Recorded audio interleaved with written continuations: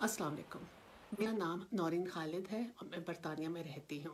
मेरे पास पाकिस्तान और बरतानिया दोनों ममालिक की शहरीत है, जिसका हक मुझे दोनों ममालिक के कवानीन ने दिया है। मैं अपनी हक हलाल की कमाई से कानूनी ज़रा इस्तेमाल करते हुए पीटीआई को डोनेशंस भेजती हूँ। मेरा ये मैसेज सिकंदर राजा साहब और ईसीपी के लिए है।